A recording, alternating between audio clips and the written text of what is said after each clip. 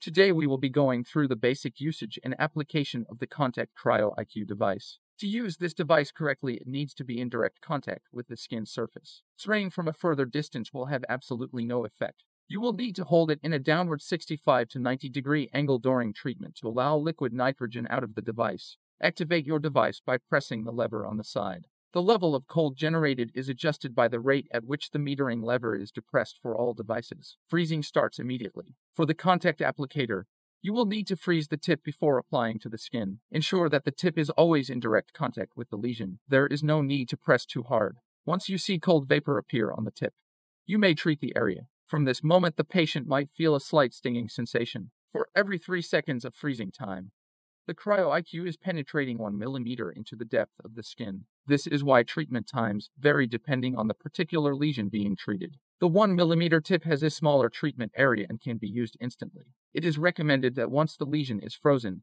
to let it thaw and then treat again. It is our quickest and most common treatment option which is fitted for treatment of warts and other skin lesions. Both provide great results as seen in these before and after photos. If you have any questions, or would like more information about the Cryo IQ range, please feel free to contact us.